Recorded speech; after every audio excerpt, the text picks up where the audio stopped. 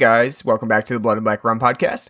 I'm Ryan from the Moon is Dead World.net. I'm joined by my co host Martin. How's it going?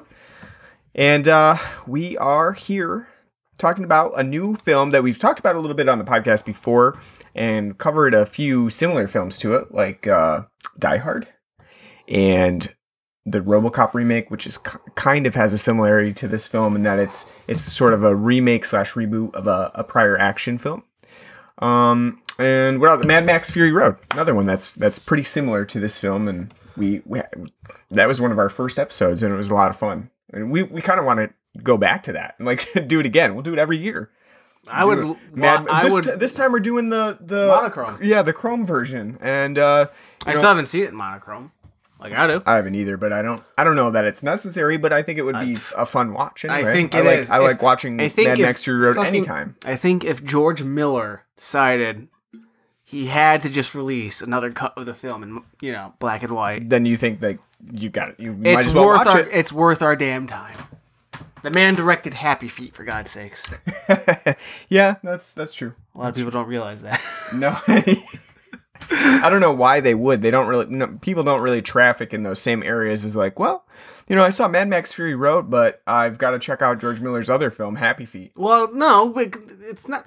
It's goofy, but at the same time, it's not because if you think about it, yeah, George Miller's done the Mad Max films. So him doing something like Happy Feet, it's goofy, but you know, um, I'm drawing a blank on the motherfucker's name. El Mariachi series director with like Antonio Banderas also did the Spy Kids movies. Oh yeah, Robert Rod- Rodriguez. Rodriguez, yeah, I don't know, yeah, don't know why I was drawing a blank on his name, but yeah, so like he like did El Mariachi. hmm And he, you know, Desperado. He's like Spy Kids, you know. And then, Yeah, that's that's true. Let's go back to something else. And Machete, you know, we'll do Spy Kids 3D, you know. Yeah, no, I, I I hear you there. It's they, they these directors they just have a mind of their own. They're gonna do what they want to do. They're gonna do the projects they want. Um, but anyway, the film we're talking about today is Dredd from 2012. Um, sort of sort of a remake of uh, Judge. It's not a remake. but it's not really a remake. It's not even a remake. No. It, it's not. Yeah, I mean, it has nothing to do with it. that'd as be like say. that'd, be like saying the Nolan movies are a remake of the Keaton and Schumacher Batman films. They're not remakes. It's True, it's not really a remake, but it's like a re-envisioning or a, a new chapter, if you will. And I think that probably sums up what it is for for Dredd in terms of like coming off of Judge Dredd because it's like a new chapter in the Dredd series. And if you think about it with like in the comics uh, in 2000 AD, which is really all I know about Judge Dredd from watching a documentary about 2000 AD and where it originated from, it makes sense that like there's no real storyline that like a like a long running storyline for Dredd. It's more of a you know one shots about his adventures in the dystopian future, and um, I, I think that is ultimately what we get with this Dredd film, um, because it is really just like a, a shot in one of one adventure in Dredd's line of work. That's and you know you just you get one thing that Now, happens to him. now that I think about it, this would be like the be the perfect TV series. Yeah, because you, You could have you- one shots. You could have like a like a longer could- running arc for some some be- of his adventures. It'd be totally like something like uh, Cowboy Bebop or Lupin, right, or, even like Ghost in the Shell. or, or the Ghost in the Shell standalone Yeah. complex, where you have some episode, you know, some episodes that are standalone of just Dredd doing his thing, or you can have like you know sometimes an overarching arc yeah, like six episodes or something like if that, that. you know if they feel like it. But no, now that I think about it, yeah, this would be like actually a really great TV series. I think they could definitely get away with it, and there's a lot of subject matter that they could they could work through with it. Yeah, Um, love to see Netflix. Netflix pick this up. It's a good idea, and I would the- I pick don't the see, idea. I don't. I don't see it being like something that they wouldn't be interested in. So if somebody shopped them a Especially Dredd some- TV series, I think they would be all over it. especially some of the shit that you see, like especially now. Like now, there's a barrage. Like it seems like every week there's like a new Netflix series, and you're like, oh, this is a thing, and oh, that's a thing, you know.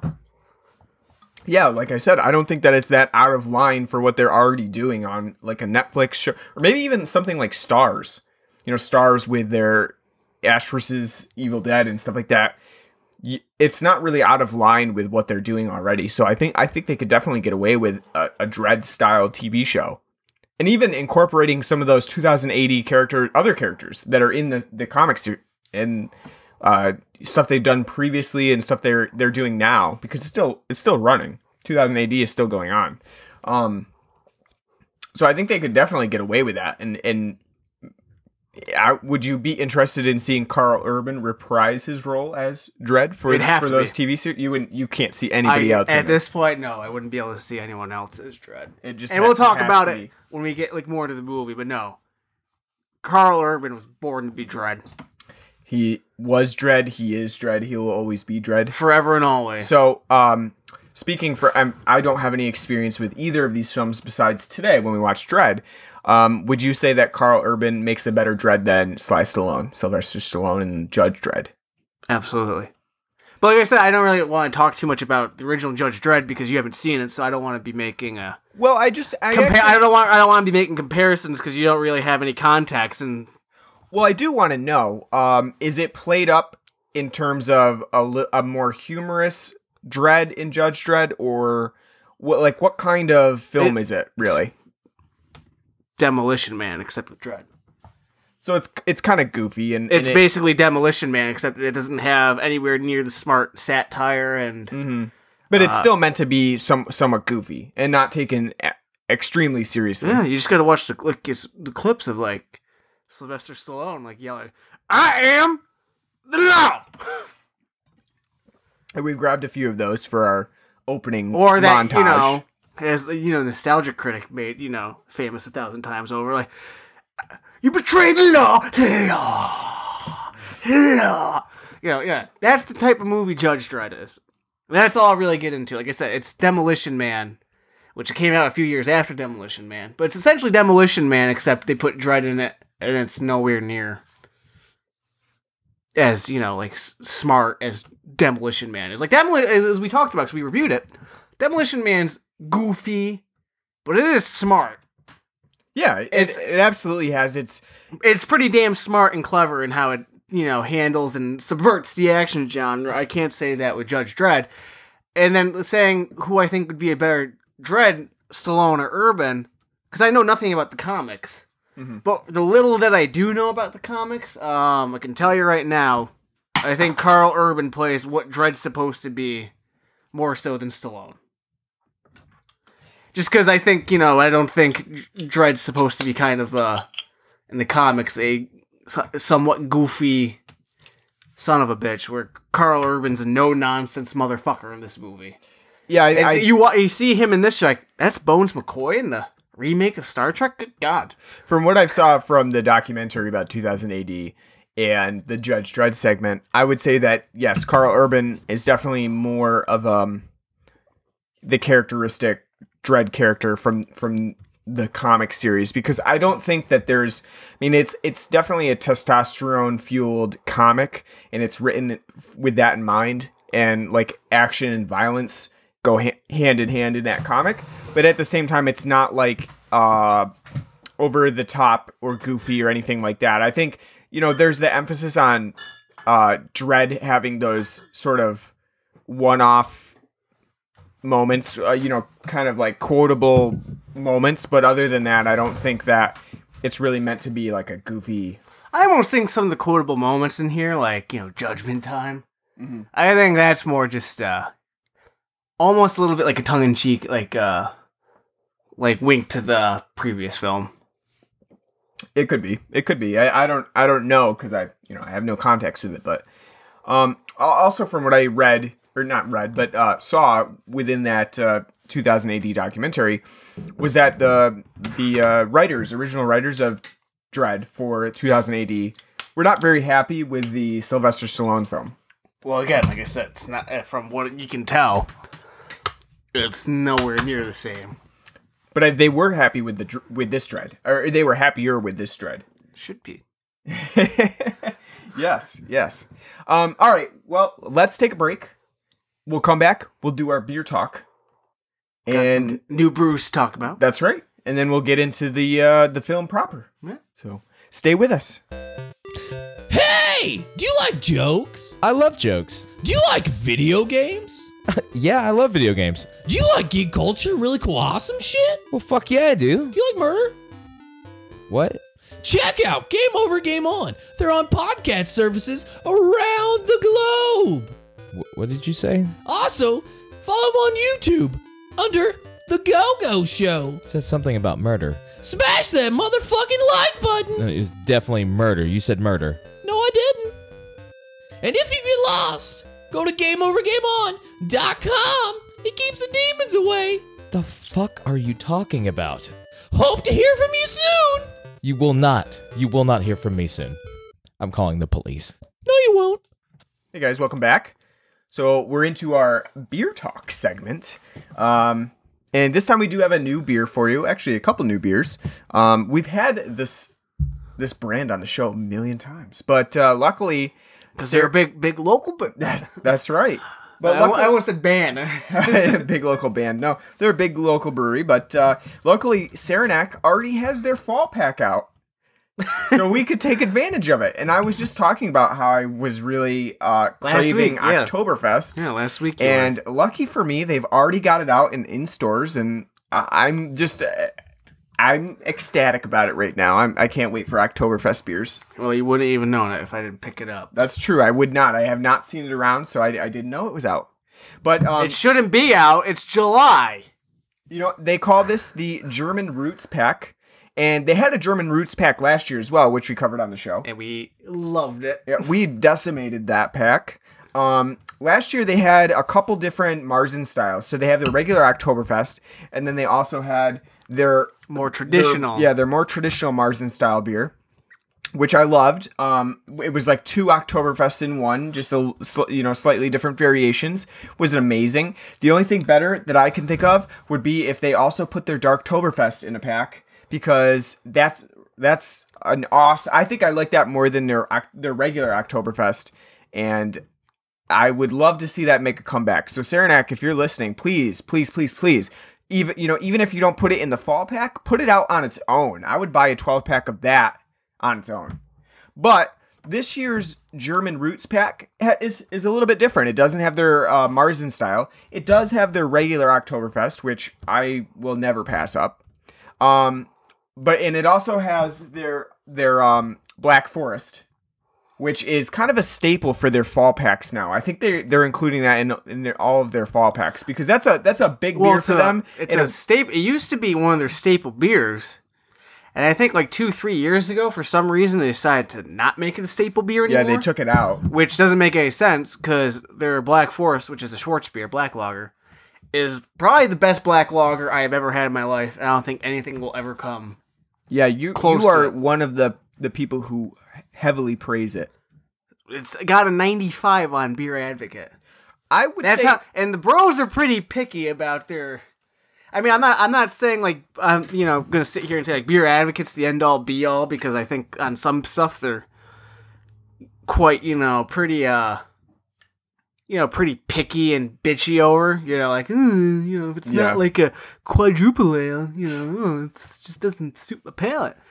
Um. So, but I think I mean it's not just because I really like the Black Forest. I think it's kind of telling because, like I said, it doesn't really seem like something that they you know would be up their alley and they're you know gave a really high score to. They praise and not only that, user reviews for are pretty damn good too.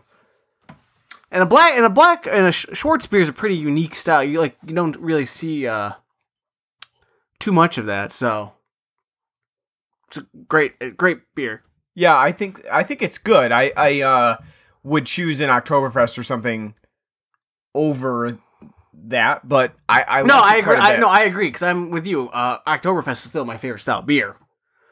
I love this time of year when Oktoberfest come out, and all the different varieties. That's why I, lo- I loved last year the pack because you have a traditional Oktoberfest, which Saranac's Oktoberfest is a good blend of like a traditional German style Oktoberfest and American style because the difference is is malt characteristic yeah. like a tr- more traditional German Oktoberfest. It's got a malt character to the, you know, the lo- the Marzen lager style, but it's not overly malty. Whereas an American uh, Oktoberfest has much heavier malty notes. Like just take for instance like Sam Adams, which has you know a very good Oktoberfest style. It's more in line with like an American style because it's very malty and it, it's almost leafy in quality. You get like it tastes like what fall you imagine what You fall. always say that. Yeah. Yeah. But I mean, it's true. So like you, but Saranac's is like a middle of the road. That's why it was great because their Marzen style was more like a traditional German style Oktoberfest, and then you had the Dark Darktoberfest, which is more like an American style. So you got like you got to experience like the entire spectrum of Oktoberfest within that pack, and it's you know it's awesome. Love it. My only problem is I don't want a fucking Oktoberfest in July. Yeah. Please save that for late October when Halloween's around, and I want to scare the shit out of kids. I want to be having an Oktoberfest in my hand, That's not a winter lager. It's not cinnamon and nutmeg time. Well, I like the um that this pack is is a little bit different. They're changing it up a little bit. One of the new beers that they have in this pack is their traditional FX Matt's Haus Lager. Um, house spelled in the, the traditional German sense, the H A U S. Um, this is one that I've never had before, but it It's is new. It is, yeah, it's new, but it's also old because it's it's the, like a traditional Saranac. Well, actually, I should not even say Saranac, but an FX Matt beer because it's it's a traditional brewed beer for that company before it even became Saranac. well, it's still they're still called the FX Matt Brewery. Yeah, they But- still, I mean, technically go under that title, But nobody but calls they're, they're not yeah. really. Yeah, at this point, they're mostly known as Saranac. But but I like that because I like first of all that they're bringing back old traditions. I think that's cool because at this point, if you you never had a house lager from FX Matt, you probably weren't getting one unless you were buying them like on eBay or something, and they're super old, you know, or drinking Utica Club, which is which is their new. Or, well, not new, but they're they're I definitely not what, new, what but you would call closer. traditional. Out of all their beers, it's, Yeah. it'd be the closest thing to it, but Yeah. not even you know, but still at the same time not close enough. right. Um, I love this house lager. I think it's really good. Um, It's a very light and drinkable. light uh, for sure, four point nine percent. um says Helles lager on uh on tap. I It would does, yeah. But I would say it's almost more like a Vienna. Yeah, But I mean, you know, but I mean, yeah, tit for tat right there. I mean, for sure. I mean, this is a really good uh g- general lager. You know, I would even. European style. It doesn't even really need to be categorized as such. It, it's just a very good all around lager, and I think that is it's very tasty. Goes down really easy. Um, and it's I think it's again it still sits within that that's authentic style of what you're looking for for a fall beer. You know, A for the- lighter fall a beer. lighter fall beer. You know, you're not if you're not looking for something like dark and heavy like the the Black Forest, you don't you don't need to go that route. You can have the house lager, and you're kind of at the middle of the road. You're not at an Oktoberfest yet. You're not going full full uh, full on Black Forest. Uh, it's a good, you know, I wouldn't just- say it's the middle of the road. I'd say it's the lighter side. it's the lighter side. the yeah. Oktoberfest would be the middle. And I would say, well, I don't know. Even the Bavarian Pils may be more of a middle of the road, leading up to. Well, I wouldn't. I was, I wasn't. darker Put, spectrum. well, I wasn't putting it on the spectrum just because this act, the Bavarian Pils has a hop to it. So I would just kind of take that out because it's like, well, we can't put our legacy IPA in this pack, so we'll take a pilsner and uh, hop it up a bit. And Yeah, but I think that the House Lager is a really tasty brew, and I'm glad that they, they added this to the German Roots pack because I hope it becomes a staple beer.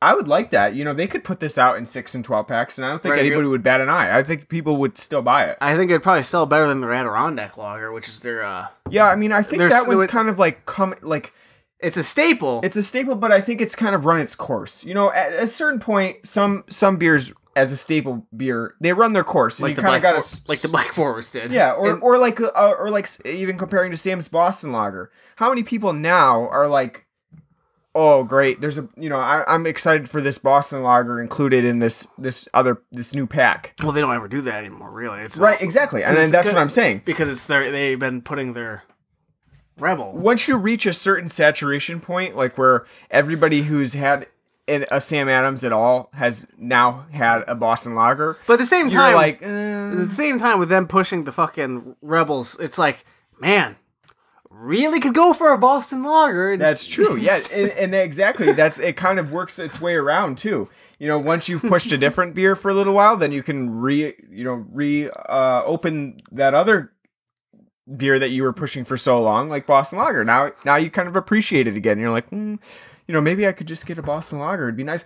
Even now, like if you're going to places around here locally, uh, at like bars for on tap, it's hard to find a Boston Lager on no tap anymore. It's You're not al- it's, going to. it's just seasonal. You're gonna find Rebel IPAs and seasonal. And that that makes me mad because it's like I'll get a Sam Adams. Like I went to like a restaurant a couple weeks ago and I was like, oh, I'll just have a Sam Adams. I, Summer Ale. I'm like, I was hoping to be Boston, but yeah, okay, fine. The resignation on your face for the waiter after is like, "Oh, I guess so. Summer ale. This is like my least favorite Sam Adams, but I guess. No, I agree. I agree. But yeah, that's the interesting. And their ads it. are flooding my Spotify when I'm listening to it. This is what the sound of a Chris Summer I was like fuck you. Well, if you wouldn't just be a cheap bastard and get Spotify Premium, then you wouldn't have ads. Well, I know, but I don't want to pay the three ninety nine. No, but uh, going back to Saranac, um, I think that house lager is really good. So if you if you, this is the time to seek that out, because and that is in six packs. it is in six packs as Can I've seen it in six pack can. It comes in the the. Fit- the six pack can. Yeah, it's perfect. No, because it comes in, it comes in that like you know like how like now with like six pack can packs like Mm-hmm. or four pack can packs like for super special beers. You know they do like those little ch- kind of chintzy cardboard. You know um. The smaller yeah, packs, It's yeah. little two holes in the top. Yeah, I did see that. You know, I- I would absolutely buy that in a six pack right now. I you know no, so would I. I, I I've only seen it like that in one place, and that was at the Amsterdam Price Chopper. And I thought about getting it, but I was like, ah, you know, I'll get, I'll get it later. Because I didn't, I didn't think at the time it was like a seasonal thing. right. I thought it was kind of like the cold brew, where just like the cold brew coffee lager, which is like, surprise, it's it's a new staple beer, and it's like, oh, Yeah, that's that's didn't like constantly out now. You just get it. no, anytime. because yeah, no, 'cause it's a staple beer. Yeah. and it's like, oh, didn't know that became, you know, where the fuck have I been? Didn't know that, you know. we don't subscribe to beer magazines. That's why. If we had subscribed to beer sub- magazines, we'd know. Who subscribes to magazines? That's right. I could probably just get them for my library subscription or something. Who goes to the library? no, but the all right. So we got to move on. The other uh, beer that we've had, we've got right now, and I think we've had it on the show before. We had to have because I've checked into it a couple times. I'm we almost- may have we have may have mentioned it at, at a certain point. Now that I'm halfway through the second one, it is t- tasting more and more familiar. Yeah, uh, we've got the Bavarian Pils on here, which is also included, and I, I believe it was probably in the last year's pack as well. I don't, I don't specifically remember, but I think it might have been. Um, but this is a good, like, as we were talking about, it's kind of a good middle of the road beer. Uh, still not very high alcohol percentage. It's only five point five percent, thirty eight IBUs, so not real super hoppy, but still has a little bit of a kick to it. Which the IBU does uh, kind of surprise me. I, I wouldn't say it. it's got a nice hoppiness to it, but it's not very hot. I wouldn't even say like it's like that. It's like a not subtle, but like just above subtle. It's like Yeah, it's the um, it's not prominent. It's not subtle. It's like yeah. little, little above subtle, like because you get like that nice um And I pils, think- pilsner take, and then at the end you get like the hop crispness. I think part of that is the the specific hop that they're using, which is the Mandarina Bavaria German hop. It's not something that you come across. It's not you know it's not as common as a Citra hop or uh, you know any of the other kind of IPA hops that you're going to be you're you're finding quite a bit used now. Um, so I think it's a really good beer. It has it's definitely still has that German style to it. Um, and I don't want to go into it super you know too much because I think we did have it on the show previously. Um, but just know that it's in that pack as well, and uh, all around a solid German roots fall pack. Um, and here it is on Blood and Black Rum podcast. We're bringing it to you probably first because I don't know how many other shows or any other places really are covering fall beers at this point. to be honest with you, I hope we're the I- only I- crazy ones out there. I think even last year we were talking about how uh, upset we were that fall beers were already out in you know July and August. Yeah, and we I are still- covering one at the Yeah, late July. and I still am because it still pisses me off. Like get your get your shit together. It's not just Saranac. It's not just. It's all of them. They're all doing. They've gotta, you know. well, now they're pushing more and more for like, let's get them out even earlier. Let's get them out even earlier. I It's know, like they gotta have summer- Christmas for beers. they gotta have fucking summer beers from February to you know Yeah, July August. Like I don't. said, it's Christmas for beers. Like you know, ever starting ever sooner. just well stop it. You're ruining. You're ruining it.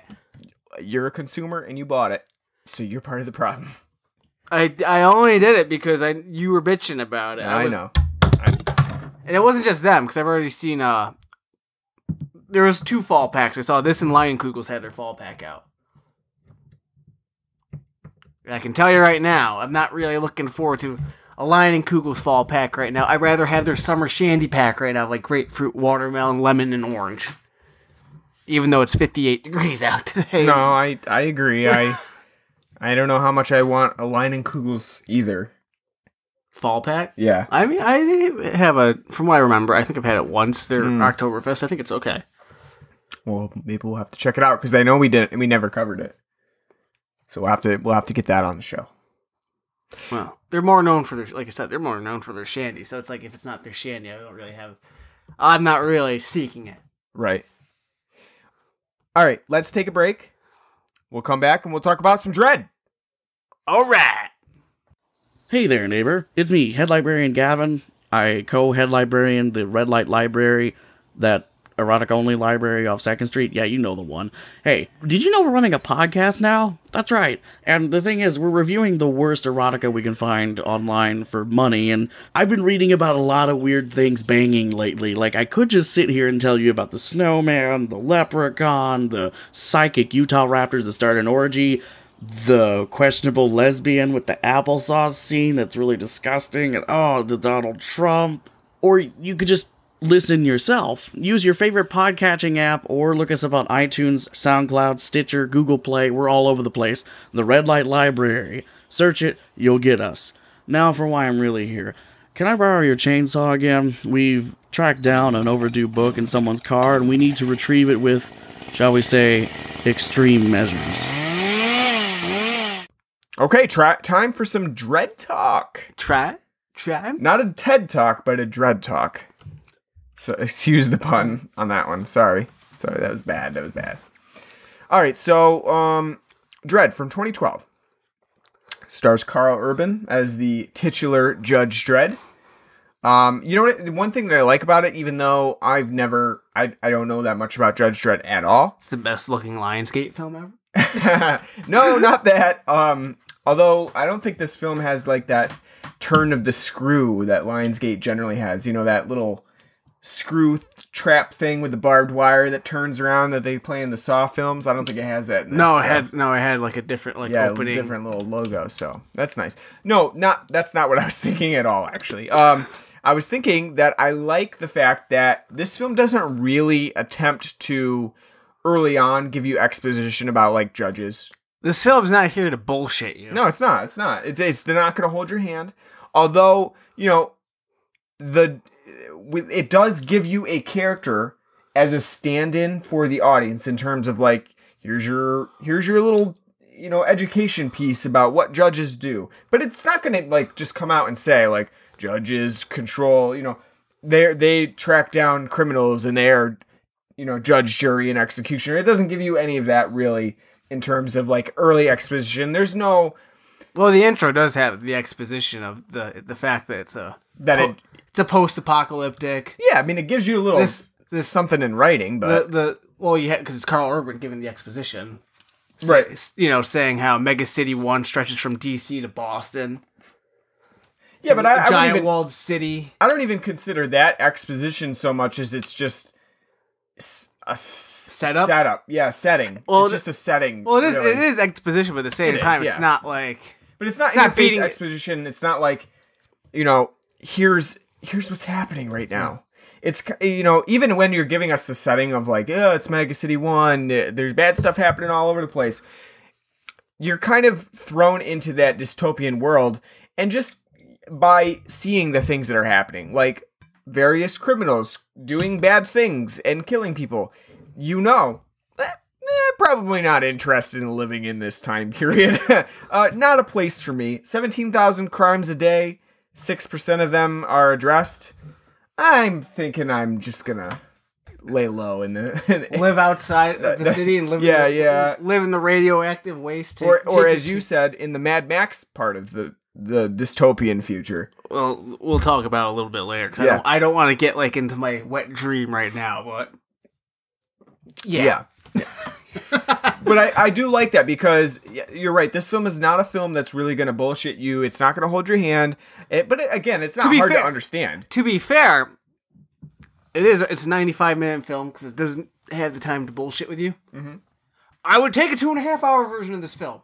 I would, but I do uh, think that a 95 minute film like this is very refreshing because, as I said before we started watching, I was expecting a two hour and 10 minute affair. You know, I was getting ready. I was getting my popcorn ready. I was, you know, yeah, oh, I better go to the bathroom or grab my cup because it's going to be, you know, it's going to be a while before I we get to the end of this. Because that's how it is, now, you know, with new films like that are in this style. You ex- yeah. expect at least 120 minutes, if not more.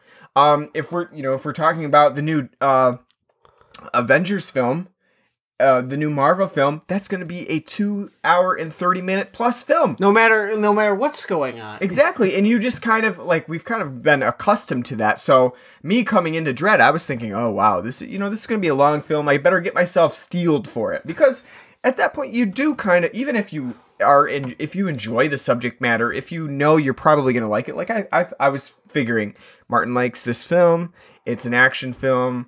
Um, I like the subject matter. I'm probably going to like this film. You know, you already go into it thinking that. But you also have to steel yourself for the fact that, like, well, it's going to be 130 to 140 minutes.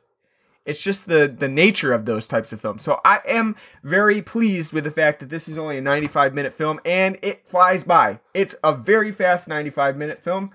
Uh, there's no real like looking at the clock, thinking, you know, this is a slow part in this film.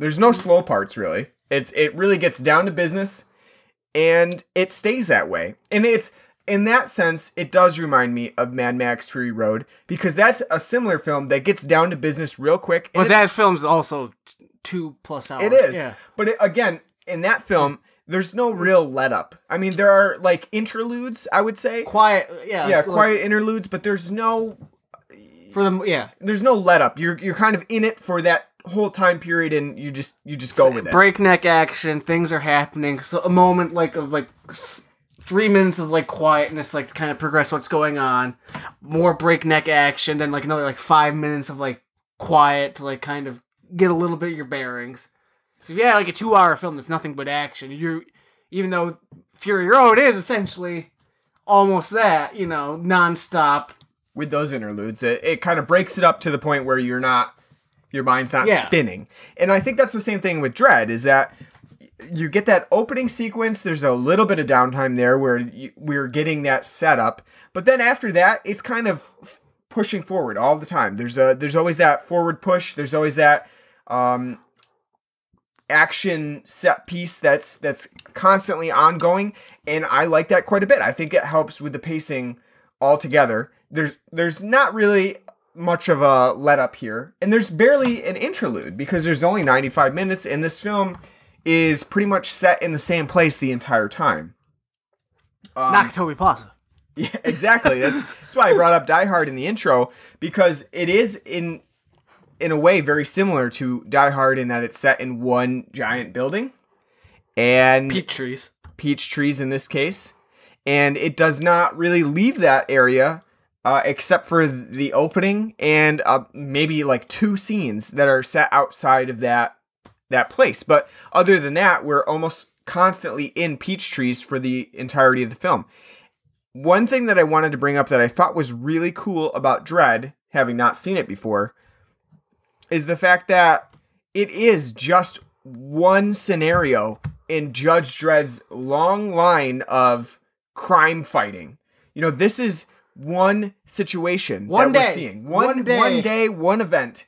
And he's got a rookie with him you know, some other films he has to drag along to like show the Exactly. Some other films that are in this style, in this manner, they would have multiple situations for their main character before the actual main event got underway, like the big, big boss guy, you know, the big bad plot setup.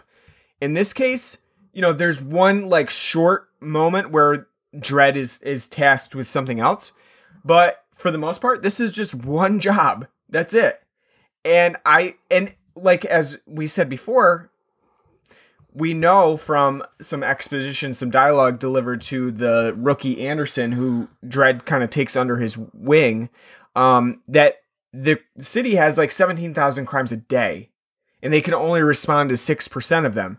And so we actually see that in action because Dredd and Anderson respond to one crime that happens. It's- takes the part takes their whole day. it takes up the entire day.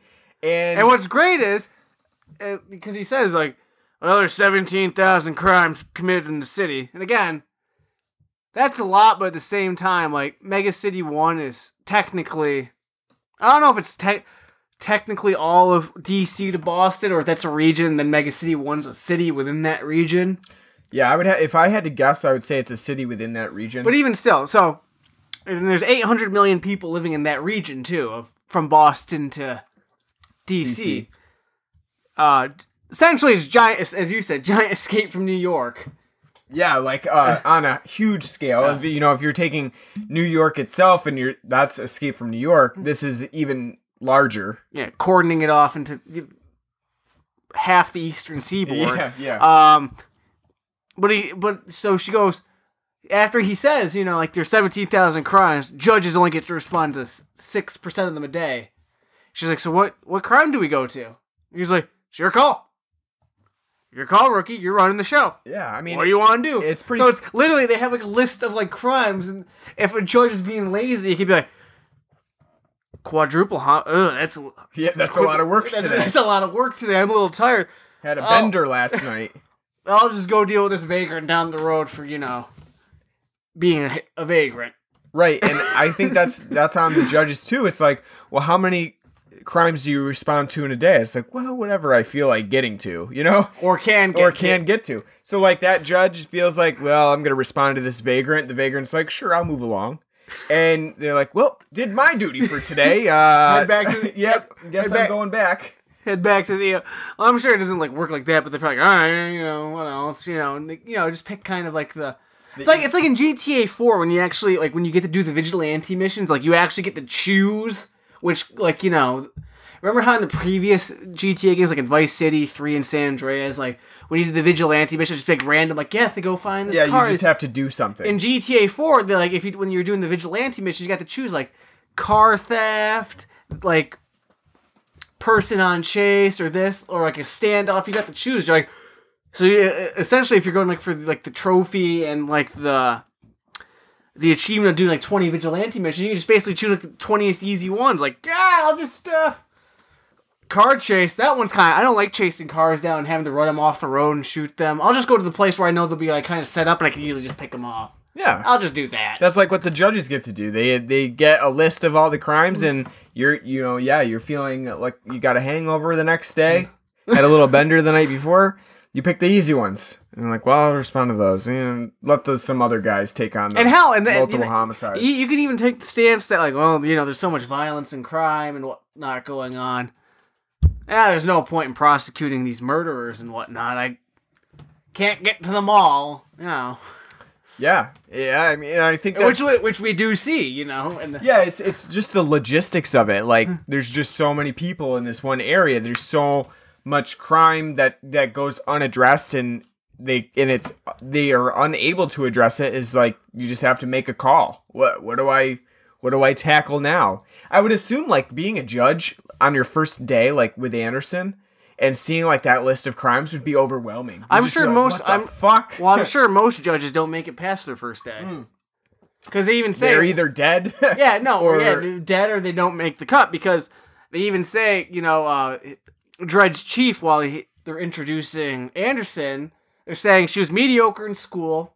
She failed the exam to become a judge by like three points, and all this other things that make her basically disqualified to be a judge. Dredd, who's a hardened judge at this time and very no nonsense and does everything by the book, you know, has no room for bending, no room for like you know gray area. It's this is what the answer is. This is what you're basically supposed the to. law. Yeah, Uh, you go by the literally The I mean, book and the law, the letter yeah. of the law. yeah. So when he's so when she, his chief's telling him like she failed, she was three points from you know from actually passing the test to become a judge. She was mediocre in her studies. There's nothing special about her, and he's like, so why the fuck's she here? And like, well, there's a special reason. They granted there's a special reason why she's here. He's like, but she failed.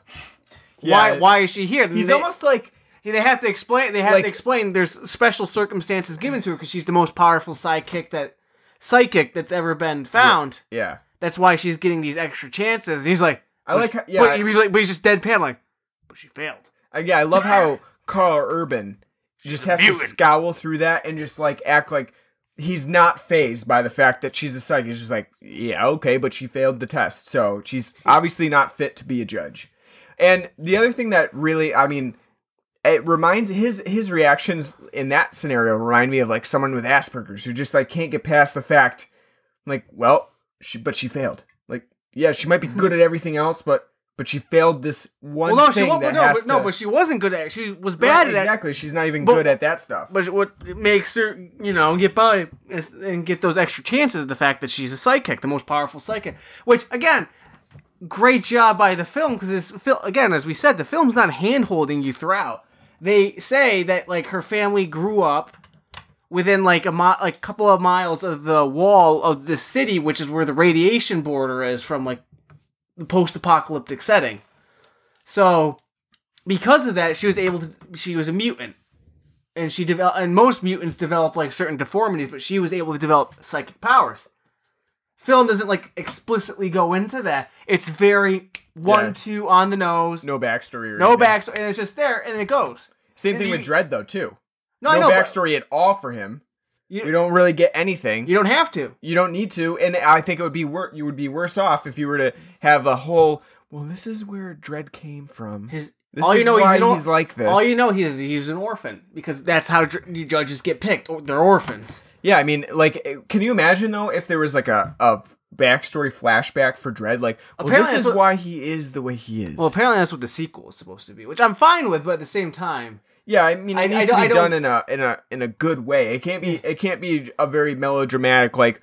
Well, no, but I This think is I think- came well, I think if they did the sequel and they because what I was reading online before we did this is the the if they got if they were going to do sequels, the sequel's gonna be like the second one's gonna be like how Dredd becomes Dredd, which that's I'm fine with that because if the whole film's based on that, you're not getting flashbacks. It's just Yeah, You're no, getting that- you're getting that you could- story. I don't If think you're you could getting- split it up into. if you're getting like a stupid like here's how Bruce Wayne becomes Batman. Oh, Martha and Thomas got shot again. Oh no!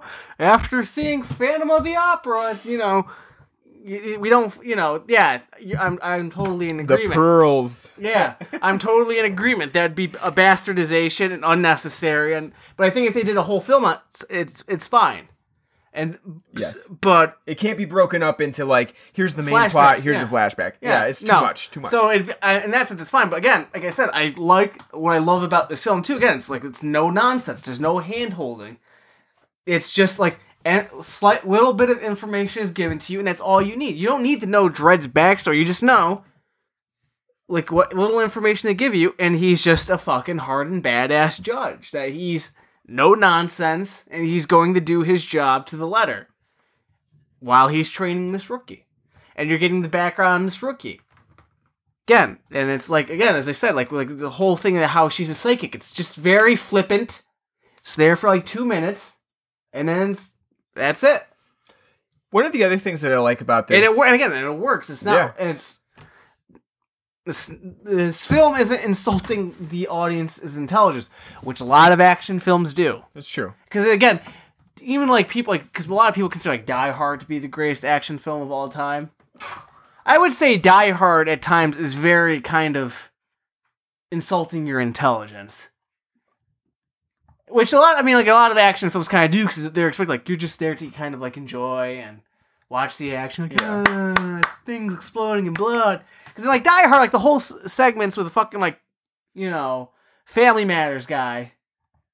Like when he's talking to him those are those are all totally like, expositional info dumps and kind of insulting like oh this is what's going on man. A lot of shit's happening up here man. I don't know what to do man. We gotta do things man you know and take it easy now. I'm eating a twinkie. Let's let's figure this out and you know so but there's not there's none of that in this film Yeah, I mean, what I was gonna say too is one thing that I like about this um, is the way that it incorporates uh, Anderson's psychic abilities without really having to go into detail about them. So there's a in action films sometimes there's a uh, an issue with how the characters' powers are portrayed, and that you're kind of learning as the film goes along the more powerful things that they can do. But I wouldn't I wouldn't say that in Dredd we ever get a scenario where Anderson and her psychic abilities become too powerful to the point where we question you know why didn't we know about this sooner? You know why didn't we know that she could do this at the beginning? Because now it feels like a you know a deus ex machina you know like a way to end the situation. I don't think we get that for the most part um, i think it, it works to the film's advantage that we often see anderson having like limited psychic abilities and then at times she can do a more powerful psychic ability when she's in the right situation. So when we're talking about their hostage um you know at, at most of the time she can only read his thoughts or read his mind about what he's thinking. Um, but in a certain situation one that's probably i would think like the most ideal situation for her psychic abilities she can actually enter his mind and kind of mess with his mind to do like a little mind warp and then read what he has seen in the past and you know get information from him in that way and I think that in other films that could have been done uh, poorly to the point where we're thinking like, well, why why didn't we know that she could do that previously? Like, why is that a power that we haven't seen before or known about? And it would feel inorganic. But I think in this film, it feels organic to her character. That she only does it sometimes. She, it's she doesn't like- have she doesn't have the need to. Exactly, and and it, it doesn't feel like it's like an overpowerful No. like moment for her. It's it's it's like li- right in line with what she can do, but just not all the time. Like she doesn't need to do it all the time. It's not not something she you know has to enter everybody's mind all the time. So I like that about that because there is that situation. You know, both judges themselves and psychics they would seem almost overpowered to the point where if you're in this situation like Well, why nothing- would you why would you be in danger but the film does a good job of showing why the judge dredd and anderson are put in danger at all times because they're just surrounded by so much stuff you know bad not- guys Well, not only that, but I mean, there's no, there's no superpower to Dredd. He's just a well. I mean, besides his gun, besides his weapon, which I mean, I would say in a way is a superpower because it's equipped with just so much stuff. You know, there's the high explosives. There's but it makes sense in the incendiary context grenades. The, in the, in the- it makes sense in the context of the universe. That It it does, and I'm saying like it doesn't make him seem too powerful. Despite all of that, despite all his equipment and weaponry, there are still scenarios where he's going to be put in danger. and not only that, he's a ma- he's a man. Yeah, he's a mortal There's, man. there's, there's no there's no again there's no superpowers or anything about him. He's just a hard again. He's a hardened judge. He's been on the job for several years. He knows what he at this point. He knows what he's doing.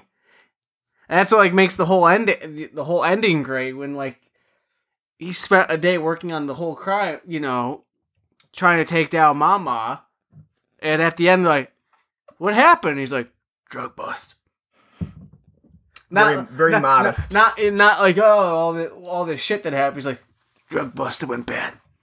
That's it. Yeah, perps perps didn't cooperate. That's it. Modesty. That's what Karl Urban has. Scowl. Yeah, let's talk about that. Let's talk about Karl Urban as the uh, titular drudge judge Dredd drudge. judge Drudge- Dr- I mean, he is a he is dr- drudgery in this too. I mean, but but Judge Dredd. Uh, what do you think about Karl Urban? I th- I I'm gonna guess that you like him as from what you've said previously, but I'll let you take it away. Oh, he's fucking great. He is absolutely a total and utter miserable He's, son a, of a he's bitch. a stud. Stud, yes, but he's He's also studly. A total miserable son of a bitch in this. You don't need to see his full face to know that. you don't sexy. even you don't even see his face at all in this film. That's one except, surprising except, thing that I thought was really great about this film too, is that in a lot of films you'd have like that one scene where Dredd is like, "I gotta take my helmet off," you know, and it would be like to show Dr- Dredd's full face. In this film, nope. He's got that helmet on at all times, and all the only thing that you can tell his emotions and like what he's thinking by is by his mouth and his body language.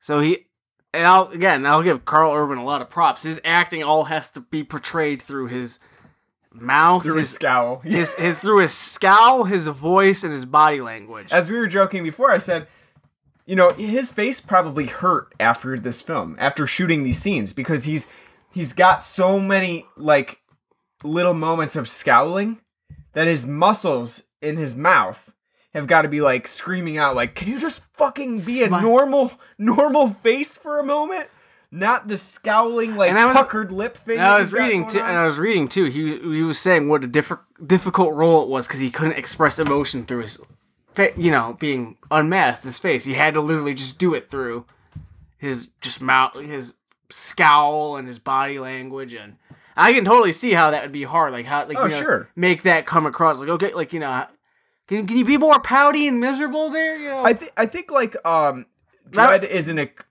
accumulation of all of those kinds of like hero roles wherein you have that hero who's just very like stoic and you know almost to the point of goofiness and like he doesn't have any emotion.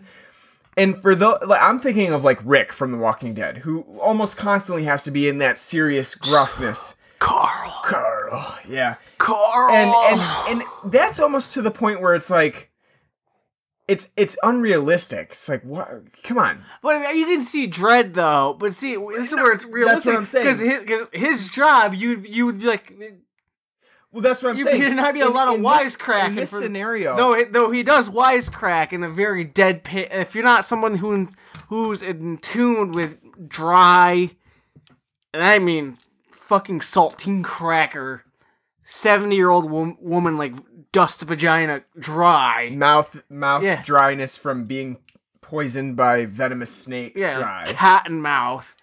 If you're not in tune with like a dry sense of humor, like then yeah, you're not gonna see like the funny moments because there are. He does have like funny, some pretty funny lines that I think you know. Even though yeah, his character's like a hardened, just a hard ass. I think I can see him like probably in his head like it's funny like so like when he's asking Anderson where her helmet is and she's like oh I don't wear it because it interferes with my psychic powers and she's like he's like so a bullet yeah could probably right. ta- you could probably like yeah he says deadpan and whatnot and it's like that's funny because he says it in such a dry manner but you could almost at the same time almost imagine like his character like huh, right like, on the inside, kinda like- in- internally like kind of like huh, huh. Yeah, I think I think it works for Dredd because you have to imagine all of the shit that he's seen in this dystopian future of He's got uh, no room for unless he's yeah. breaking someone's legs in like glee, like as punishment. Like your sentence is you're gonna be a cripple now. He's like, Yeah, you would think that being a judge would be like from just like a explanation standpoint, like what does a judge do? You think it'd be kind of fun. You get a cool little gun. Nobody else can touch your gun because it'll backfire. It's ID to you, and it, if they touch it, it'll backfire on them. Um, and you cool get like, motorcycle. and you you get voice activation controls. You can just tell it what you want, and it'll do it. And yeah, you get a cool motorcycle that can stop, you know, any pedestrians from crossing a crime scene tape. But it's not all fun and games, obviously, and and I'm sure that what the film leaves open to interpretation is all the shit that Judge Dredd has seen previously, and will see in the future because he makes it out of this alive, and there's not really a. I guess you wouldn't. You're not really worried that he won't, but uh, he makes it out of alive, and all the things that are gonna happen in the future to him, and there's a lot of shit that happens. You can just imagine from the things that occur just in this one building that he's in, which is a building overrun with drug dealers that gets locked down eh, to to keep him in so that he doesn't alert anybody else to this activity. So you can just imagine what the rest of Mega City 1 is like cuz you know, it, what's good about this film too is it's very stylistic. So when they're up on top of peach trees and they're looking out towards a city skyscape of similar looking buildings that are probably have other The same issues same fucking problems going uh, on. You can just imagine like looking out at that and being like, overwhelmed by the amount of crime that's just out there. Just you looking like that's Tuesday over there. yeah, right, exactly. Like you've got your your your days mapped out for the next twenty years. yeah, uh, no retirement in sight for the judges there. Um, no, but I also about that too.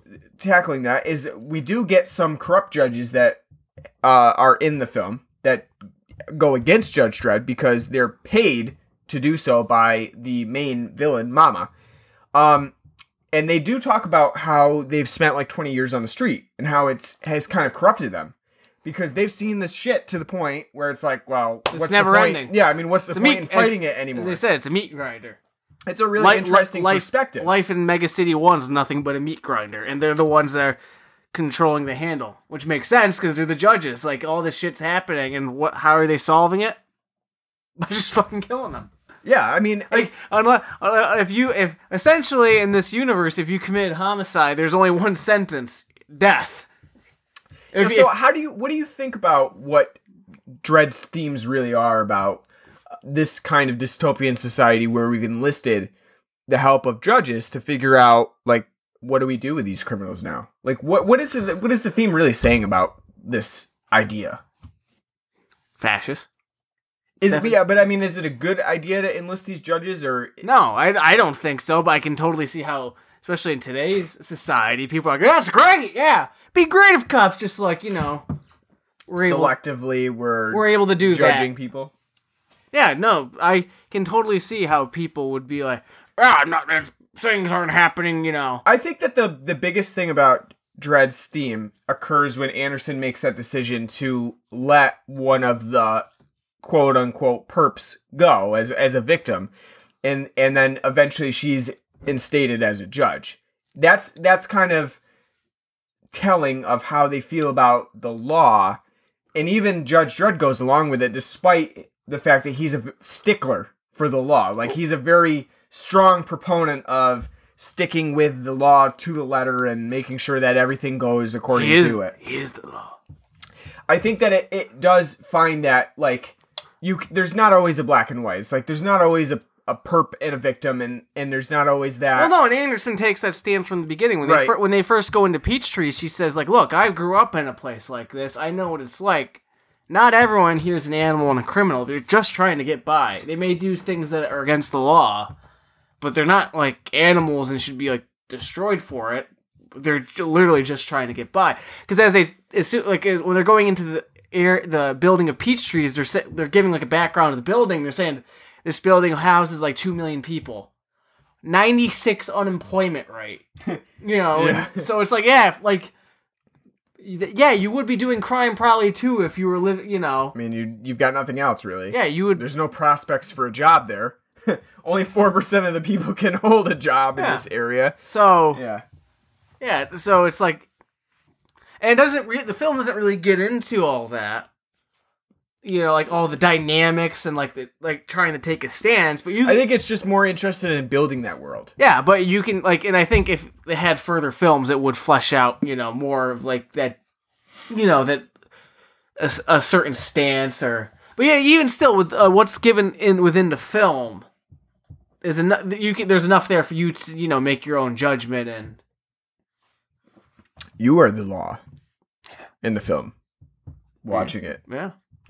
Um, But I, I like I said, I don't I, I do feel like it is coming down on the side of not having judges or you know that it's not the best idea to just have somebody who constantly gets to make a decision like, well, yep, they're bad. Uh, Let's kill them. Let's get get rid of them. That's it.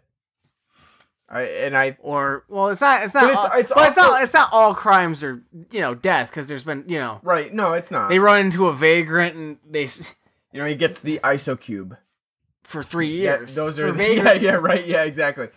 Which, by the way, I think I I do think I, I I see that's like a scene where I think it's like kind of showing its hand though there because it's again that's saying a lot about kind of unless you're a very special kind of person. It's saying a lot about like kind of prison and laws like vagrancy.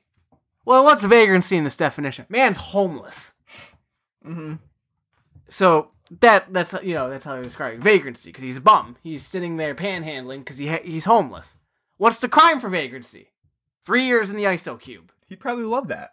No, but at the same time, so no, so at the same time, it's saying a lot. So it's like, so you basically have a system in place that's a perpetual cycle. Man has no money, he gets thrown in jail for having no money.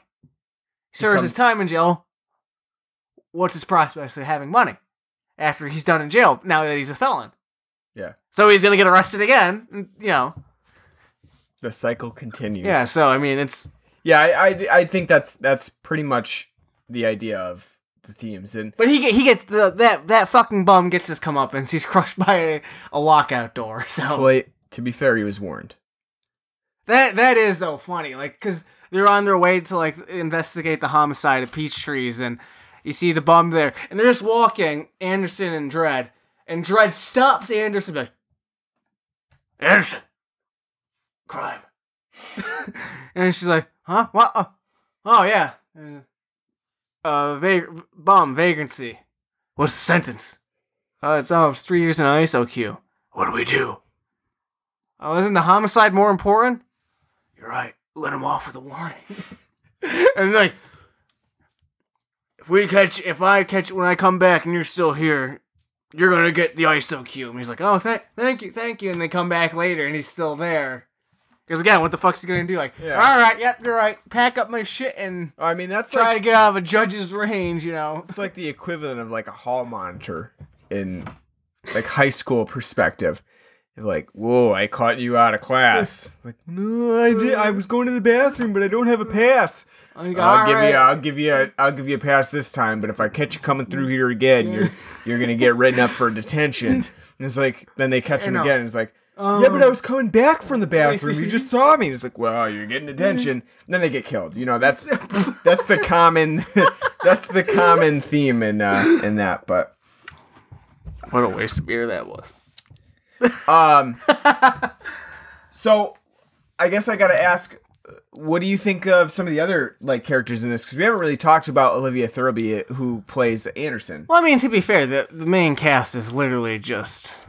Anderson and Judge Dredd, I would say. Well, yeah, but I mean, Urban. but but more so. Mama's character. No, but just more so Karl Urban's. Well, yeah, I mean, I but I'm talking about the secondary cast. What did you think about like Olivia Thirlby is Anderson? We've got Lena She's- Headey as uh, Mama. I mean, Olivia Thirlby's great. She's Samus Aran. That is, I think that's a great idea. I think Olivia She- Thirlby should absolutely be cast as Samus Aran for uh, a Metroid. Metroid film, which they should be The way- the way- starting on post haste. The way the way they have her hair and whatnot look in this, it's like, yeah, it's like make that Metroid Prime movie with her. I would go see that in a heartbeat. Absolutely. I mean, maybe just a little bit longer on the hair, and then they'd have a, a Samus. But no, I know. I thought she was really good. She there's, you know, she plays her role very well. She does like I really like her interactions like during the psychic parts with uh, the one criminal and just like Yeah, that's a really cool, cool scene that they've got there. But and she also, but again, she's she's the dichotomy to Dredd because she's a rookie and like you get to see her like questioning what she's Here's- doing and and, the and, and again and- judge. the in, yeah the inexperience and not only that just just kind of being shocked like holy shit like I gotta kill this person like oh I just saw a shit ton of people get killed you know like I mean like not really knowing how to process and handle that well Dredge just doesn't give a fuck. He's like oh, Yeah. what, what? You never shot someone in the head before? Yeah, you never thrown someone off a building before? Like come on. Yeah, rookie. Been First doing- day on the job. I've been doing this for 15 years. This is what Yeah. I, I wake up in the morning like. we never do get a time frame for like how long Judge is actually Judge Dredd is actually. He's been a on. All you need to know again. All you need to know is he's been on the job long enough that people know he's not to be fucked with. Yeah, No, because because as we you know when we see Mama hire those uh, judges to, you know try to kill him. Again, to show how Dredd's a badass. Again, this is where I think the film does such a great job because again, if this was fucking Batman v Superman, we would have a fucking twenty minute flashback during that scene of how this is how this is how this is how Dredd's you know this is how. Why are you asking for a million credits for this you know one judge? do you know who Judge Dredd is? Yeah. And they have like a flashback. Like, I used to work with Dredd back in Section 2 20 years ago. And, you know, and like showing all like the badass things to do. No, they just do 1 million credits. And she's like, a million credits? And she's like, do you, and the guy goes, do you know who, what judge this is? She goes, no. And he's like, he goes, well, I fucking do. He's not to be fucked with. One million credits. And she goes, all right, one million credits. And that's, again, it's perfect. It's all you need to know. That Judd, even trained killers like, you know, these Who have been on the force for 20 years. We know well, he's well, he Judge has. Lex- I don't. I don't think. I think yeah, Lex has been on the force for twenty years. I don't think his compadres. No, I wouldn't that. say so. But I mean, but yeah. So he like again. He knows like you don't fuck with Dredd. So you know they're not. But again. So they're showing how much of a badass is, but at the same time, they're not like blowing it out of proportion. Like, oh my god, he's fucking Superman. He can do anything. yeah, Um, yeah. but no, I think I think Olivia Olivia Thirlby does a really good job, and I think um, Lena Headey. Lena Headey as Mama, she's really good too. Yeah, I think she does a good job as she- Mama. She's very um cold. like, Like, she's the same as Dredd. very cold. but again, the, but the same. She's the, she's Dredd's counterpart in the fact that she's just as cold and maniacal as Dredd. But the fact is, she's on the wrong side of the law. yeah, and and, and um, I I like how like sinister she can be in like a- sinister would be putting it lightly. right. And I, and I think that this is where, again, I was making this sound.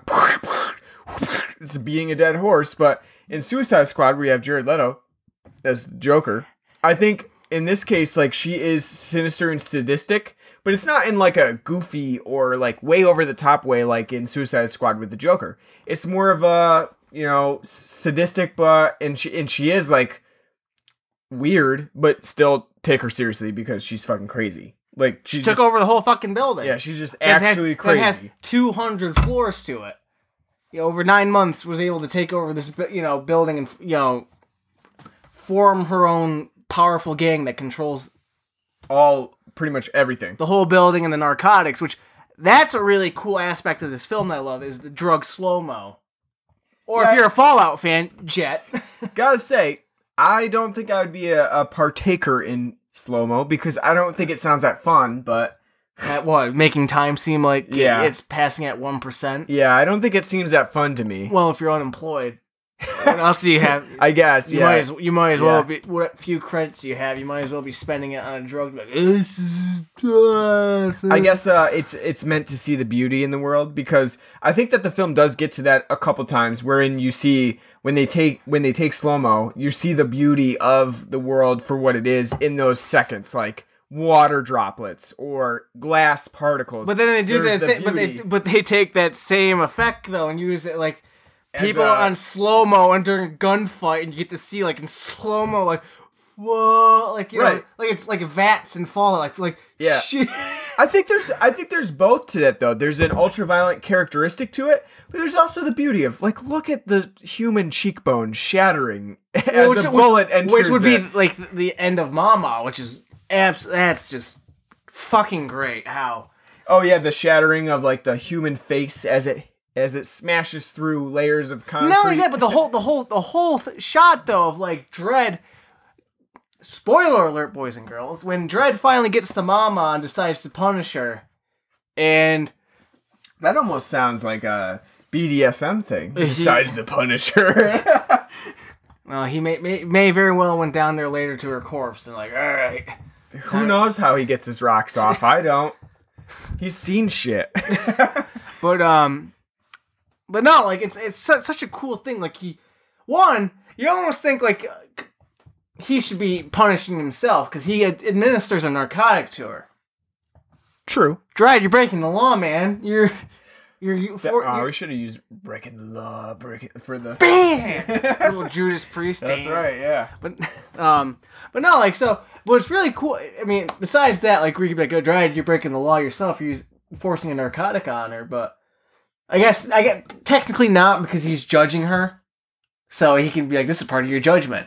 You know. They get a they get a pass. Yeah. For that. Well, anywho, it's so cool because he puts the drug on her, and then like. He, when he just throws her out of the window, and then you get to see in slow mo, like the way it's shot, like the glass shattering her, and then as she slowly fall, you get again slow mo of her fall from this, you know, two hundred stories up, falling and the glass shattering, and then the way light looks in this time, you know, going in while using slow mo is it's very accentuated and over like saturated like neon, like bright neon colors, and just the way it looks and like the Yeah, it's fog. heavily styled for sure. Yeah, it looks f- just fucking great. And then like when she finally hits the ground, wow, what a great shot! Just like of it being of the, a POV shot of the ground and her the, gra- body. the ground's like, look at this. Yeah, I know, but the only but the thing is, what makes it really cool though too is like they're not like if it was like a like a regular action film, which her her or Death Wish, her body would explode on impact to like a ball of flames, or Her Or- body was made of gasoline. or you know her body would just like disintegrate and you know Yeah. body parts shot. But no, they take a very ultra realistic, and her as soon as her body hits the ground, it's not like her head flies off. You see just hit the pavement, and then blood.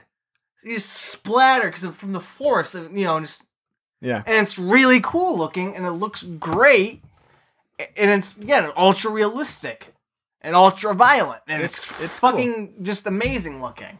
It is very cool. Um, I think that like I don't know if I find the slow mo thrown off a building a punishment though. In terms of like you know how they kill like some of the other On slow mo, Yeah, on skin, slow-mo, the- skin them and throw them off. The I door. don't know if I find that a punishment. Like Um, I, I'm trying to understand like how my brain would be like if it was slow mo and I'm falling off a building. I think I'd probably just recognize all the cool stuff that's happening around me rather no. than feel. If you got skinned like those guys true, did, the- skin and the you're then, skinning and then would you're, feel and then pretty you're, bad, and then you're thrown off.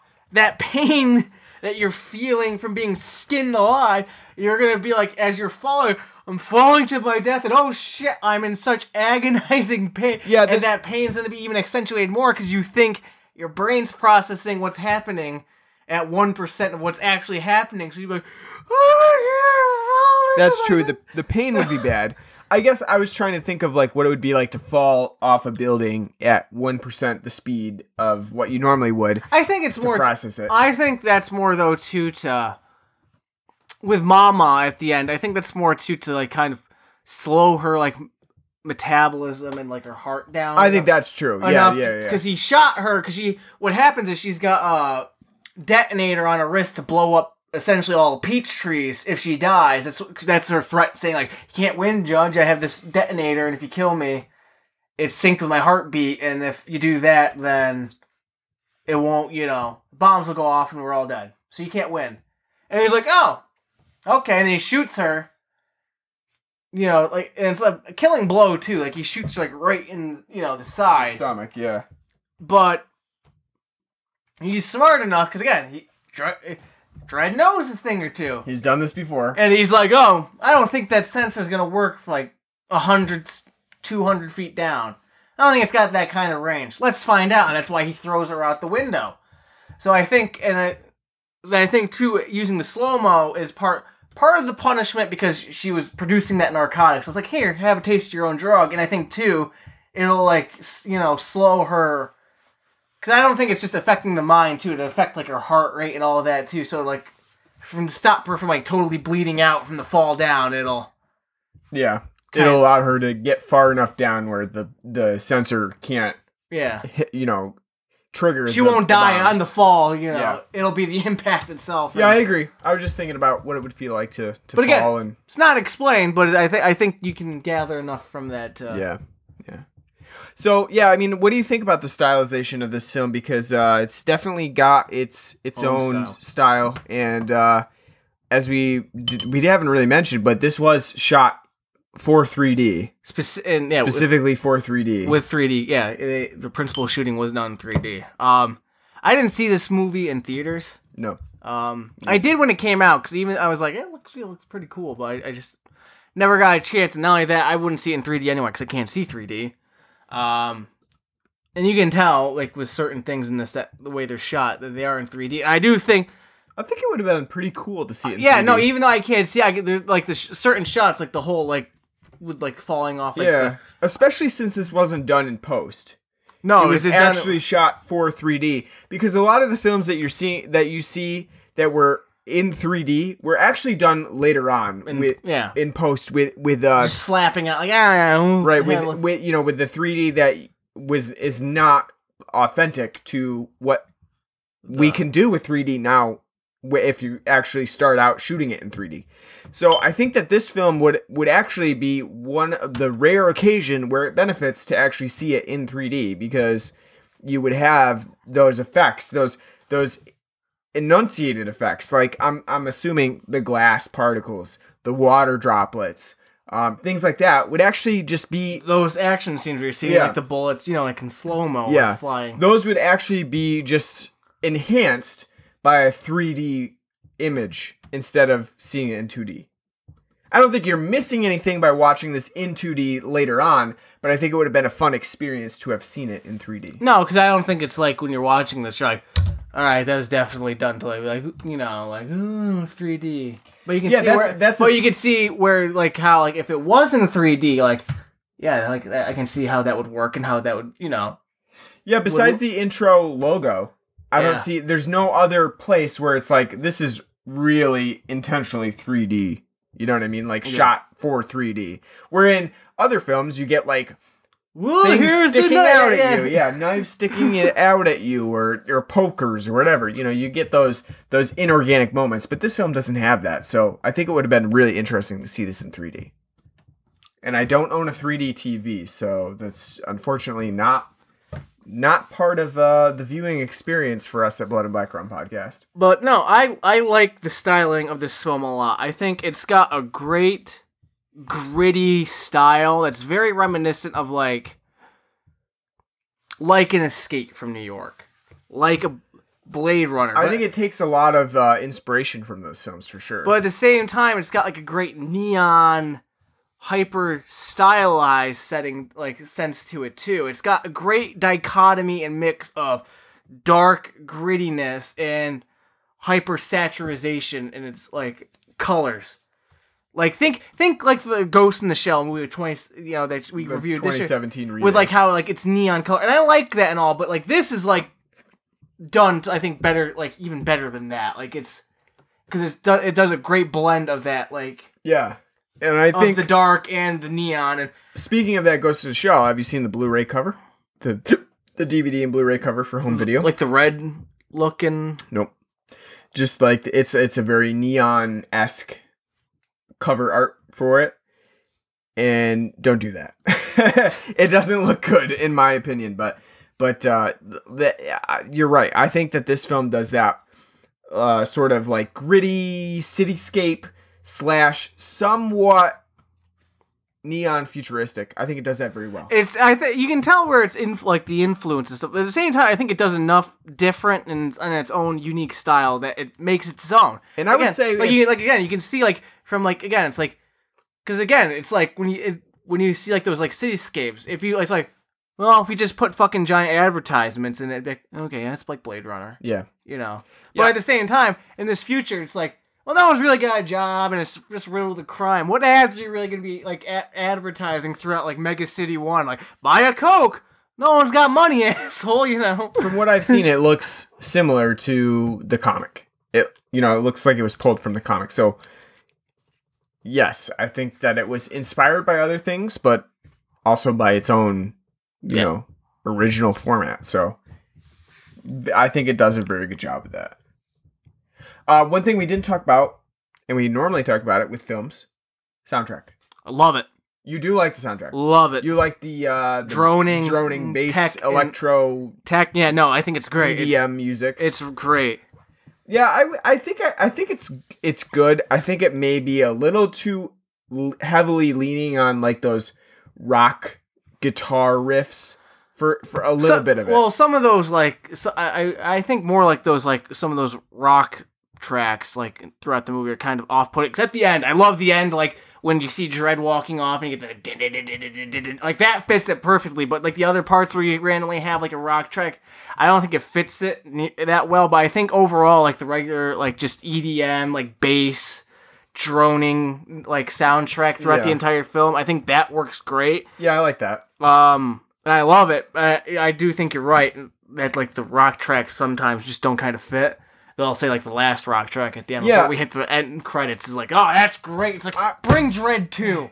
Bring I'm, it on. I'm more of a fan of like when they have the electro synth tracks because that fits more with the futuristic timeline of it. The future, you know. Well, I think rock can fit too, but I think where they just use it and what they do with it, because it's very minimalistic. It's just kind of like, like, Yeah. like a, repeat, repetitive guitar riff. riff, yeah. It, so it doesn't really um and Add. add to what's going on. I think you're right. Like an electro synth, like droning sound fits more in what's and it would going. fit with more uh, with like The- in the tone. New York tone and stuff like that. You know, You can imagine John. Carpenter like Yeah. sitting here like like scoring this film and like just like I got this really cool synth track like to add here like you know just ding ding ding. Yeah. ding. Um. What about the action? What about what do you think of the action? like the actual set pieces. set pieces of Yeah. it. Uh, I think they did it very well. Um, there are a couple scenes where I don't love the over stylized blood and and things like that, but for the most part, I think they did a really good job with a lot of the gunfights, especially when Dredd is fighting the other judges, specifically Lex. I think that's a really good scene. Um, it's very cool. You you kind of are pitting two like-minded individuals against each other.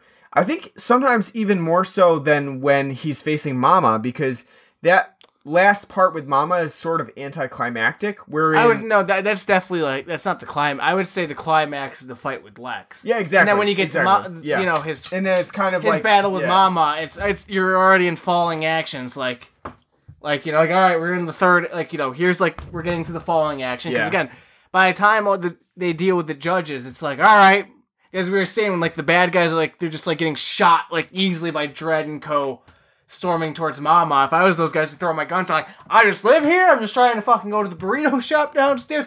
Don't know what the fuck's going on. Like, you know, I wouldn't be like being. Yeah, you you I- wouldn't be going down with the ship like with Mama at uh, that yeah, point. no. At that point, I'd be like, I don't fuck. shit's, like, shit's over. yeah, I'd be like, yeah, fuck this. You know, like, yeah.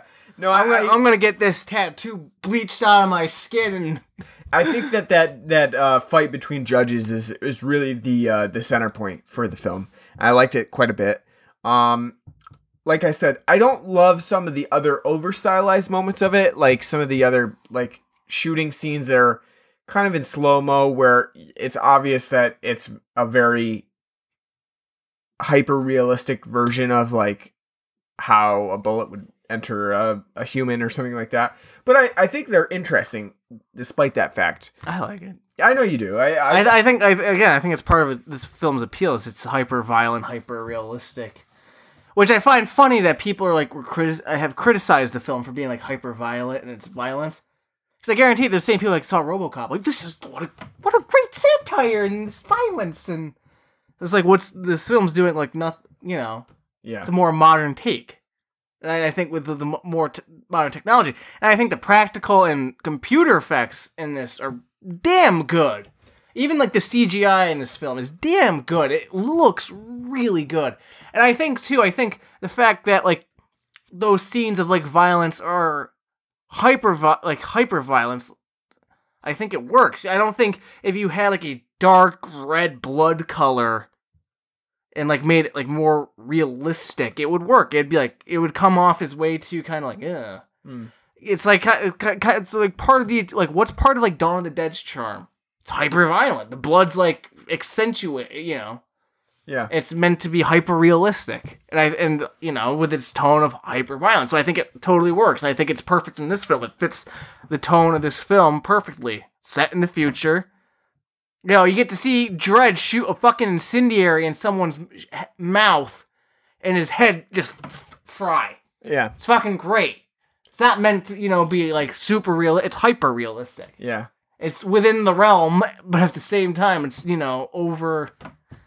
It's over stylized, but I think it totally fits within like the tone of the film and the what the film's going for with Yeah. its style. Yeah, and I think that the um those moments where Anderson gets in the head of It's great. of I the love- hostage is is probably one of the better parts too of you know just kind of that dream sequence scenario that that happens i think it's really cool I think, and then and that's I, I, one thing i wanted to bring up olivia thirlby in those moments where he's fantasizing About actual fuck- about- topless scene or about fucking her. Actual topless scene or stand-in Well, we'll have to ask her. I, I I'm gonna say stand-in. We'll get her on the podcast. And the reason I say uh, the reason I say stand-in or, and or CGI, which I can't really tell, I'd Wait, say, 'cause it- I would it say, could- it- I would say CGI. yeah, because I think it's CGI, is because when she actually does the jacket sequence where you see her taking off her jacket, you don't actually see the the front side. you see the back, the bare back side, but not the front side. So that's a good indication that she didn't actually do any nudity for this. So no, I imagine not. I think it was probably CGI. yeah, but Olivia Thirlby, if you're listening, would love to see it. um, no, but it, that is a that is a fun sequence. I, I like that a lot. Anything else you want to add before we go into the ratings for Dredd? I guess not. Um, I think we covered most of it actually. I mean, there's I could talk about this movie for like hours. I really could. I really could. No, I, no one wants that. you don't know that. You don't know that. You'll This, have your own shows, like this is- three hours of Dredd with this Martin. is this is a cult classic now. This is this You're is. making it one. I'm not making it. It It is. has It, become one. it didn't do that. I mean, it made money at the box office, but didn't do enough for them to well, I think power it out a sequel. from the, from the same same problems as like the Total Recall remake. Is that people were already thinking like, The the difference is though, nobody wants a Total Recall remake. well, no one really wanted a Dredd, new, a new Dredd film. No, either. but here's the difference. Total Recall is a fucking great Paul Verhoeven movie. Nobody wants like with RoboCop. Nobody wants to see a remake of RoboCop. Nobody wants to see a remake of of Total Recall. Dredd, on the other hand, people look. I like. I like I said, I wasn't really going to talk about it because you haven't seen it, and so I don't want to make like comparisons. Judge Dredd is not a good movie. I like it though because it's campy as fuck and enjoyable for its campy bad sake. And Sylvester Stallone is just, you know, being hammy Sylvester Stallone in it. So I mean, but overall, most people like unless you like really like action films or campy films, you're not gonna or Sylvester Stallone films, you don't really give a shit about Judge Dredd. So Dredd again, this film is like basically is starting at square one. It you don't have like a connection to the original. Not I Judge Dredd as a comic, especially in the United States, is a very, very not well like known comic figure like to the general audience. Most people, if they probably saw this film, popular, would yeah. not know like, oh, this is based off a comic book series. It's not like Batman, Superman, like and all you know that. It's not. Right. So uh, it's I I wouldn't say there's any. It, uh, I think overall, I I think the marketing for this film wasn't that good because even Karl Urban himself said part of the film's failure was the fact the marketing job they did for it wasn't good. And I don't really remember the marketing for it because I only saw like two trailers for it on TV when it came out, and I was like, oh, they made another Dredd. I don't know if I didn't know if it was like a sequel or what, but I was like, that's cool, but I never got a chance to see it. So I, I don't I don't think the fact that, I, no I so I can't say like it suffered the same like thing with like a Total Recall remake. I haven't seen the Total Recall remake, so I can't tell.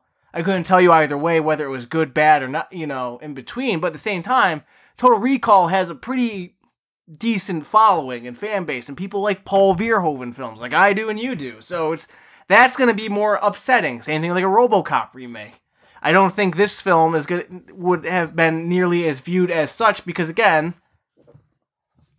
it's totally touching a different audience and again, there's not really any people who are like, "How dare you remake Sylvester Stallone?" or like, "How dare you reboot, you know, Sylvester Stallone's Dredd film?" right.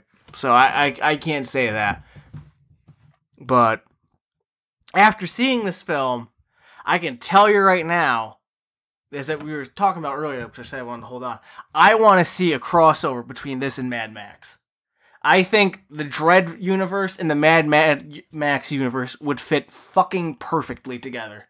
I would love to see a world where Max stumbles upon a super city like Mega City 1 and runs into Judge Dredd.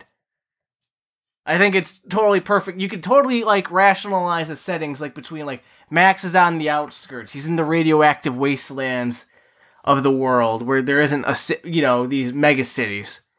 And on his adventures, he runs into a mega city. He's like, "What the fuck?" You know, there's Yeah. some kind of civilization, and then runs into Dredd. I think that would be great. Karl Urban and fucking Tom Hardy together would be absolutely splendid.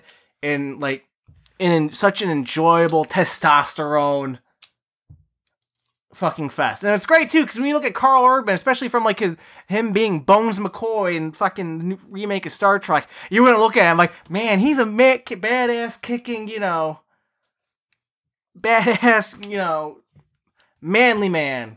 Right. Because he's almost kind of, he's not like fat in like the Star Trek movies, but he does like kind of look as kind of like just frumpy, like, damn it, Jim, I'm a, you know, as you I know, think you're looking for portly.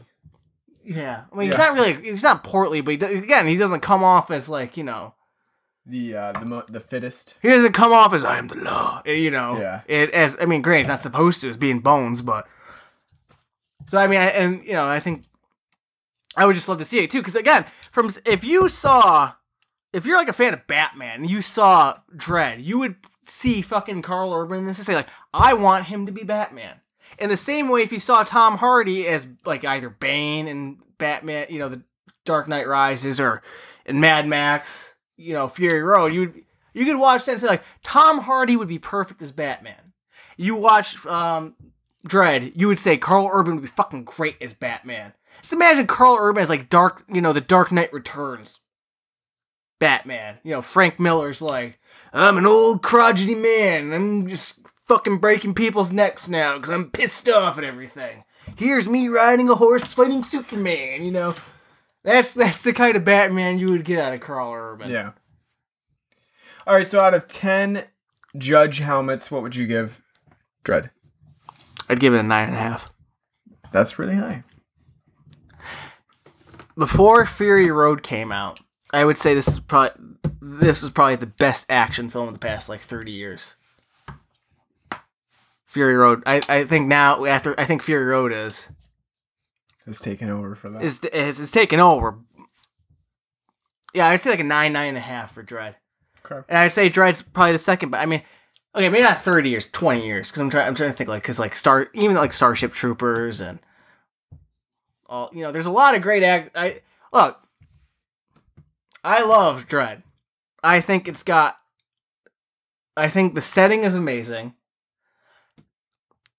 It's again, it's it's the generic dystopian like over populated city setting, but I think it does enough with it different and changes it up, and then explores its own universe enough to be unique and enjoyable. I think Karl Urban's fucking fantastic. He's such a total badass in this, and just portrays the role of being such a miserable cunt throughout the entire film. So just great, and just how serious he takes his job, especially at the end too. Like when you just like at like you said at the end of him just being like, "Ugh, just another day," and he just rides off on his motorcycle, probably to go home, sew himself back up, have a shot of whiskey, go to bed, get up and at five, do it all over again. Mm-hmm.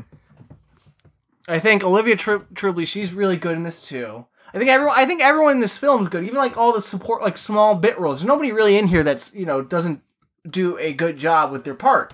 I think everyone does a fantastic part. I think the soundtrack is very enjoyable. I love the effects in this film, CGI or otherwise. And again, as we said before, both of us aren't really fans of CGI effects. I think the CGI effects and the practical effects in this are very good. I think the style, the color, the the cinematography in general in this film is very beautiful. It, it's a shame that I didn't get to see it in theaters.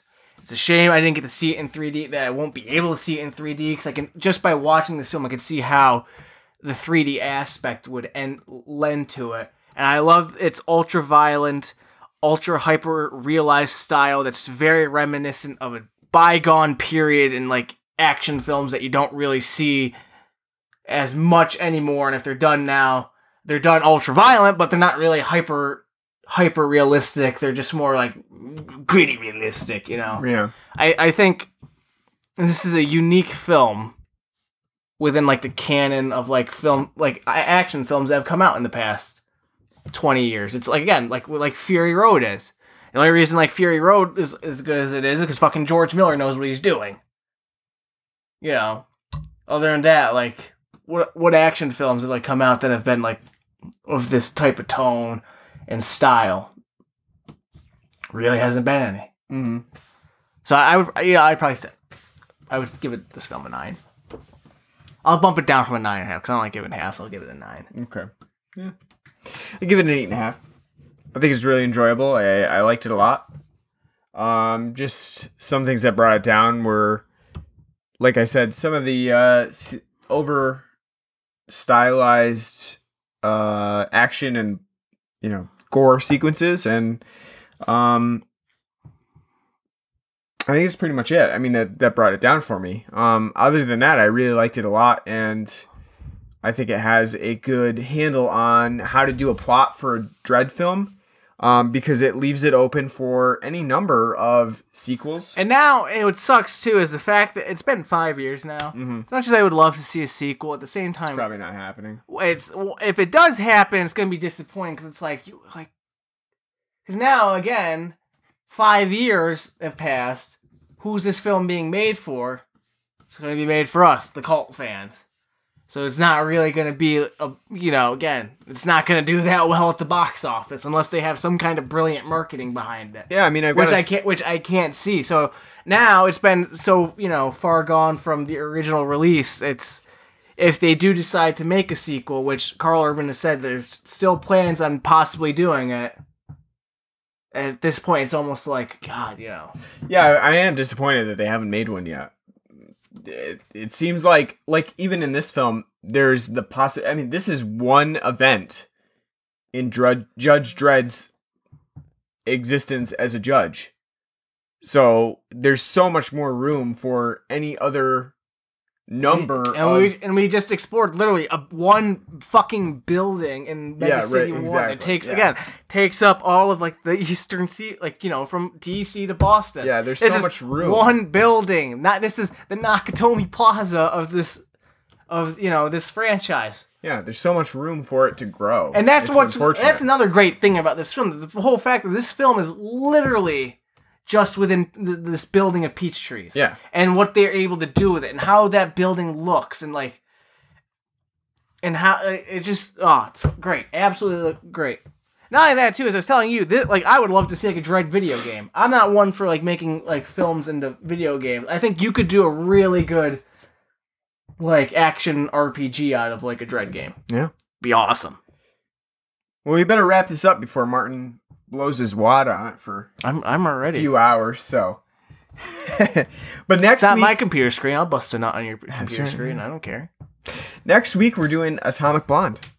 We're gonna go out, venture out to the theater. That. Another hyper violent. I guess I guess I spoke. Hopefully, I was say, oh, you can tell from like the trailer that we saw, like I'm excited. unless it blew it, lo- unless it blew it slowed. I guess I guess I lied. Atomic Blonde would fit in that. Um, hype from what it looks like a hyper violent, hyper real. And now I think about it more too. I missed quite a few films that fit that category. Sin City, 300. The whatever other Frank Miller movie that's in black and white that I can't remember. um, the other Sin City, It's like Sin no, it's like Sin City, but it's not like Shadow. for Vendetta.